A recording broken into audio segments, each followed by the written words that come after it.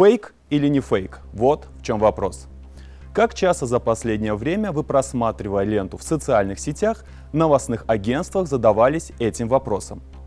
В современных реалиях информационные войны – одно из главных оружий, которое порой может нанести не меньший урон, чем оружие традиционное. Информация и главная ее подача может как остановить спор в виртуальном пространстве, так и начать полномасштабную войну уже в пространстве реальном. С вами Фариз Мусаев, вы смотрите программу «Имитация правды». В этой программе мы пытаемся найти истину и разоблачить фейки. Решать, где правда, а где ложь, будете вы сами.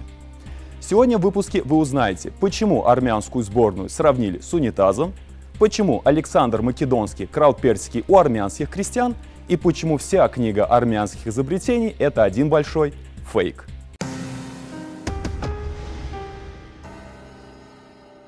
Прошлая неделя выдалась насыщенной на спортивные события. Формула-1, чемпионат Европы по мини-футболу, чемпионат по греко-римской борьбе и так далее. Не обошлось, естественно, и без скандалов.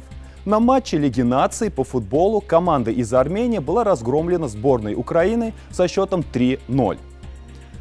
После игры состоялась пресс-конференция, на которой украинская журналистка попыталась задать вопрос. Однако пресс-секретарь армянской команды в грубой форме отказался переводить вопрос к тренеру. Коллеги украинского репортера сайт «Спорт-арена» не смогли обойти этот случай стороной, в связи с чем у себя в социальных сетях разместили занимательную публикацию. Вы все правильно поняли. Это красный унитаз с логотипом Армянской Федерации по футболу и надпись, которая переводится «Сборная Армении» на одной фотографии. Я часто вижу комментарии от наших пользователей на YouTube и Facebook на эту тему. Дело в том, что армяне после поражения во Второй Карабахской войне, понимая, что им придется освободить исконно азербайджанские земли, забирали и вводили не только свои вещи, но даже белых коней. При этом попутно сжигая дома и деревья, что и подчеркнули ребята из команды «Спорт-арены». Я уверен, что эта тема армян будет преследовать еще очень долго – новость про армянскую сборную является не фейком. Пока мы не перешли дальше, напоминаю вам, что в телеграм-группе телеканала CBC мы делимся новостями, не вошедшими в наш телеэфир и другие социальные сети. Переходите по ссылке в описании или по QR-коду, указанными на экране. А мы идем дальше.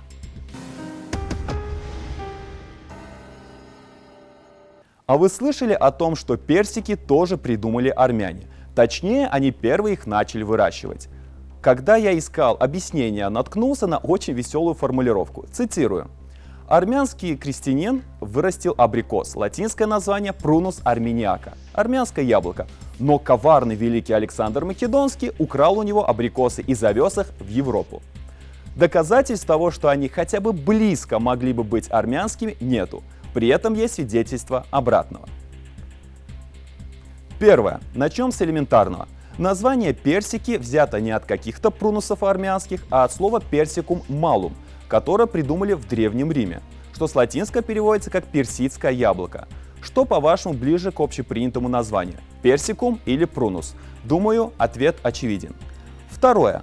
Как и абрикос, персик тоже выходит из Китая и его южных и центральных районов. В первом веке нашей эры, во время великого переселения народов, он попал в Персию и оттуда в Грецию и Италию, а затем распространился по всей Южной Европе. Есть также очень интересная легенда, что персики содержали яд, и цари Персии из мести к египтянам посадили в Египте множество этих фруктовых деревьев, дабы отравить все население. Однако плодородная почва якобы освободила персики от ядовитых свойств.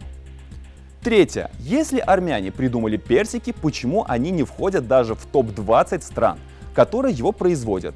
Для наглядности показываю вам таблицу топ-20 производителей персика, включая нектарины. Статистика в тысячах тонн.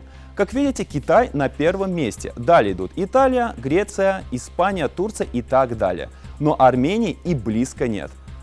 Как бы Македонский не поступал с крестьянами того времени, персики он у них точно не воровал. Новость о том, что персики являются армянскими, это фейк. Есть очень интересная книга, где записаны все изобретения армян, которая называется «Что придумали армяне?». Прочитав ее, я узнал, что, оказывается, они еще придумали соломинку для коктейлей, керосиновую лампу, банкомат, ингалятор, атомную бомбу и даже подводную лодку. Прошу вас, напишите в комментариях, какие интересные изобретения придумали ученые со всего мира.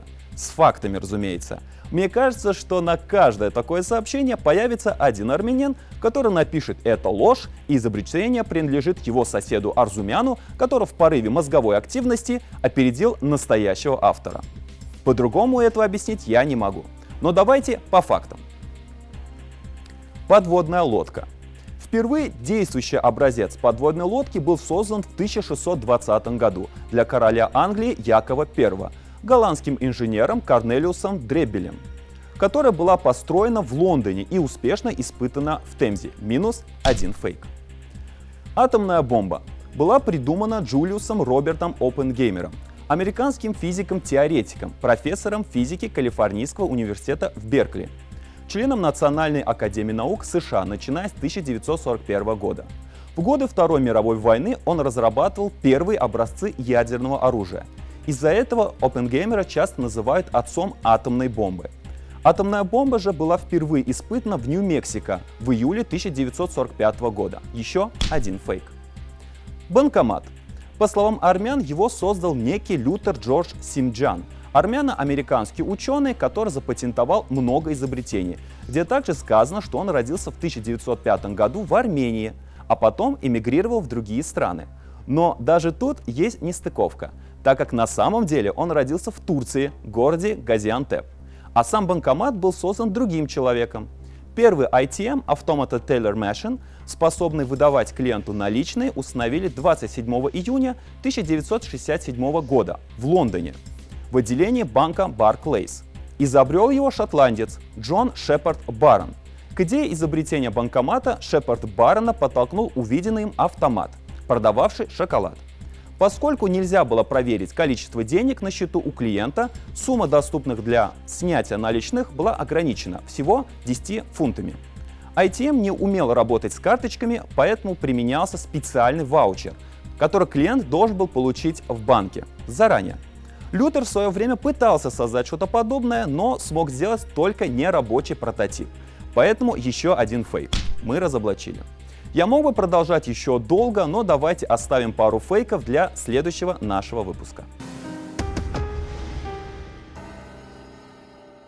Оставляйте комментарии, как позитивные, так и негативные. Также кидайте ссылки на различные фейки, с которыми вы сталкивались. Я же постараюсь выслушать каждое мнение. Также напоминаю про нашу телеграм-группу, где мы делимся видеофрагментами и новостями, которые не входят в другие социальные онлайн-платформы. Обязательно подписывайтесь и будьте с нами на связи. А с вами был Фариз Мусаев и программа «Имитация правды». Знайте, насколько бы хорошо нас не пытались обмануть, истина все равно где-то рядом, и ее можно найти. Всем до новых встреч!